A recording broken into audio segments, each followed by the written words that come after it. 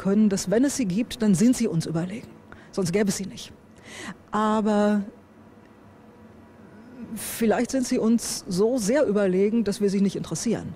Also wenn sie uns angreifen, überfallen und ausbeuten wollten, dann wären sie uns nicht so sehr überlegen. Dann wären sie noch ziemlich ähnlich wie wir. Und ich glaube, dass wenn es sie gibt, dann sind sie noch auf einem ganz anderen Niveau anders, als wir uns das vorstellen können. Okay, vielen Dank, Frau Hüttemeister, bis hierhin. Ja, meine Damen und Herren, äh, wir suchen, wir suchen die ganze Zeit nach Leben im All. Aber nicht nur das, wir selber senden auch Botschaften. Vor 35 Jahren haben wir, wir haben es vorhin schon mal gehört, zwei Sonden losgeschickt, Voyager 1 und Voyager 2. Und was aus denen geworden ist, das sehen wir jetzt. Am 5. September 1977 beginnt eine der größten Erfolgsgeschichten der NASA, die Reise der Voyager. Ihre Mission? Die Erforschung der Planeten und Monde in unserem Sonnensystem. Die Voyager trägt elf Messinstrumente mit einem Gewicht von über 100 Kilogramm mit sich. Plutoniumbatterien versorgen die Kameras, Teilchendetektoren und andere Instrumente mit Energie. Über eine Parabolantenne funkt sie die gesammelten Daten an die Erde zurück. Die Voyager entdeckt auf ihrer Reise neue Monde und einen kleinen Planetenring um den Jupiter. Sie dokumentiert schwere Gewitter in der Jupiter-Atmosphäre.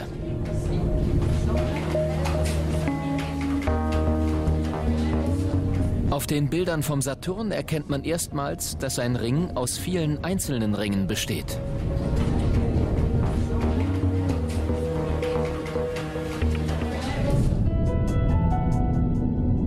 Seit 1998 ist die Voyager das am weitesten von der Erde entfernte, von Menschenhand gebaute Objekt. Und ihre Reise geht weiter. Im Gepäck trägt die Voyager eine Botschaft an intelligente Lebensformen im Weltall. Gepresst auf eine goldene Schallplatte. Ausgestattet mit Bedienungsanleitung und Absender enthält diese Platte Informationen über das Leben auf der Erde. Alles nur streng schematische Darstellungen von Fortpflanzung, Tierwelt oder Nahrungsaufnahme. Abbildungen von nackten Menschen wurden zensiert. Das wohlgesittete Leben, wie es die Amerikaner 1977 sahen. Welches Bild wohl werden fremde Lebewesen dadurch von uns erhalten?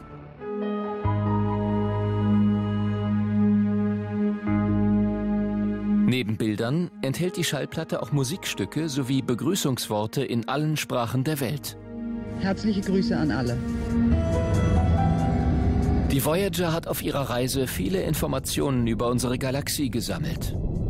Jetzt tritt sie aus dem Sonnensystem aus und nimmt ihre Botschaft von der Menschheit mit hinaus in die Unendlichkeit. Ja, Voyager im Grenzbereich unseres Sonnensystems. Und das, was Sie da über mir sehen, meine Damen und Herren, das ist die Oberfläche des Mars. Und der Mars ist in der Tat das nächste Ziel der Menschen. Da soll es in circa 20 bis 30 Jahren eine erste bemannte Expedition tatsächlich hingeben. Sechs bis acht Monate circa nach dem Stand der Technik jetzt würde so eine Reise dauern. Die Vorbereitungen dazu aber, die laufen schon jetzt. Auf dem Mond waren wir schon. Im All hat der Mensch eine ständige Präsenz. Was ist der nächste Schritt? Moskau, 3. Juni 2010. Drei Russen, ein Chinese und zwei Europäer lassen sich in einen Container einsperren. Für 520 Tage. Big Brother für die Wissenschaft? Nein, ein Experiment für eine der größten Herausforderungen der Raumfahrt. Die Reise zum Mars. Die russische und europäische Weltraumagentur wollen in diesem Container das Zusammenleben von Menschen untersuchen, wenn sie zusammengepfercht wie in einem Raumschiff einen Flug zum Mars simulieren. Wie gehen die Teilnehmer mit dem Stress um? Mediziner und Psychologen überwachen die Crew rund um die Uhr und die Teilnehmer filmen sich zusätzlich auch selbst bei Übungen von Weltraummanövern und den täglichen medizinischen Tests und Trainingsprogrammen. Jede kleinste körperliche Reaktion auf die Extremsituation soll erforscht werden. Gehirnströme, Kreislaufdaten, Stresshormone im Blut. Der Stressfaktor Nummer eins: Zusammenleben auf engstem Raum mit immer den gleichen Personen.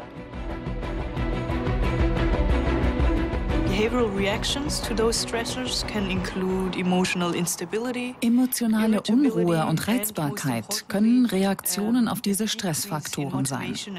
Und besonders entscheidend, die Motivation und die Energie können abnehmen. Das kann eine Mission ernsthaft gefährden. Die Teilnehmer der Container-WG müssen fast eineinhalb Jahre im buchstäblich hautnahen Kontakt miteinander aushalten. Ohne dramatischen Streit und Konflikte. Immerhin werden sie nicht allein gelassen. Psychologen werten nicht nur die täglichen Videoaufnahmen aus, sie können per E-Mail auch Unterstützung und Tipps anbieten.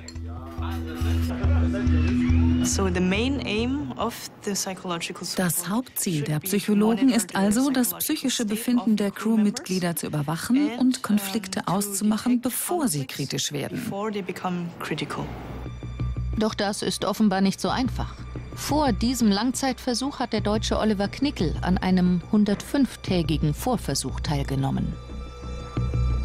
Es ist ein bisschen wie, wirklich wie in einer Ehe, dass man kennt sich einfach so gut, ähm, man kennt die Schwächen, über die man vielleicht beim anderen anfangs noch gelächelt hat und gesagt, das ist ja doch irgendwie, das ist ja ein Mensch, der macht auch mal einen Fehler. Ähm, das ist so beim dritten, vierten, fünften, 35., 75. Mal ähm, kann einem da einfach der Kragen platzen. Bei diesem Vorversuch gab es bei einigen Teilnehmern Unzufriedenheit mit den verordneten Essensrationen. Das führte zu Stress. Trotz der psychologischen Betreuung kam es zeitweise zu Reibereien. Andere Teilnehmer zogen sich zurück.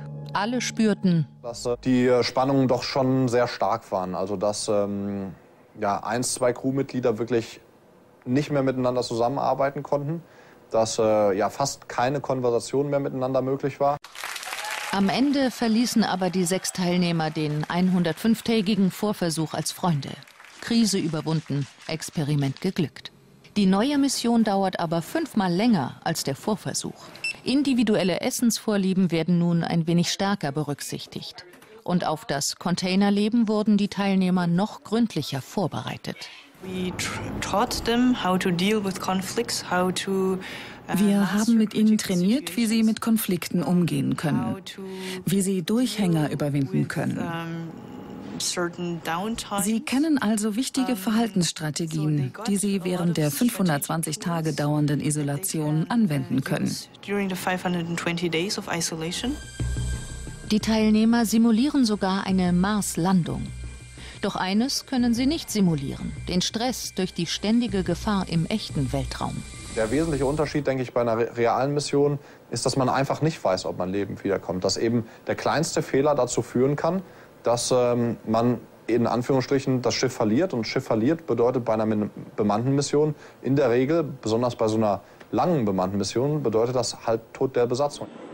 Die Ergebnisse aus dem Isolationscontainer sind in der Wissenschaft umstritten.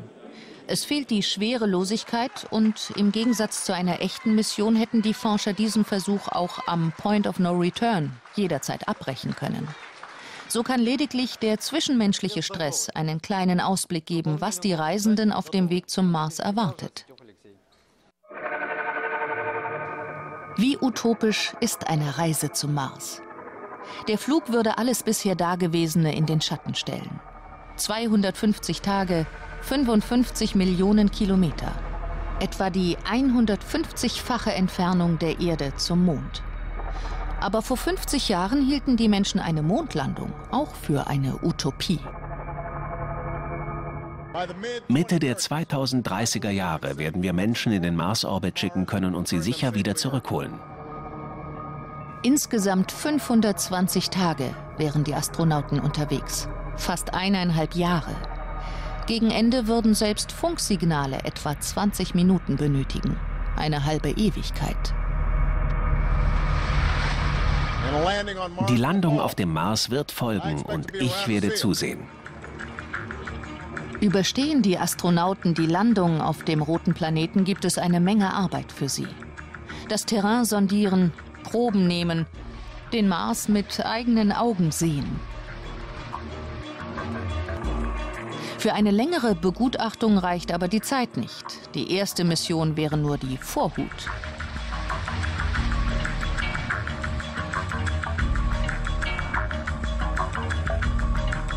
Eine Mission, die sich auf alle vorhergehenden unbemannten Missionen verlassen muss.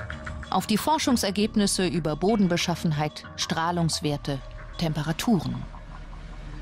So haben zwar insgesamt 20 Missionen erfolgreich Daten vom Nachbarn gesendet.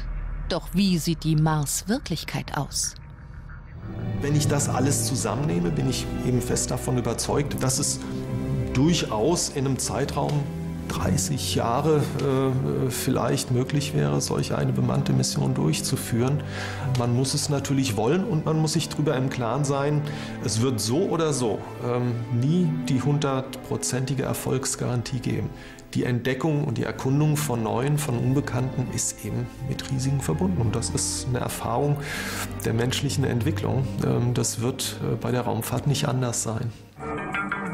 So ist die nächste große Mission der bemannten Raumfahrt sicher die riskanteste, aber auch die teuerste Reise der Menschheit.